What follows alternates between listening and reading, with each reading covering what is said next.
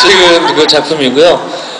아, 신참 내기 그 정보 요원과 베테랑 정보 그 김하늘 씨와 그 벌인 알콩달콩한 여러분 그 미센 그 안젤리나 졸리랑 브래드 피트 나왔던 그 영화 아시죠?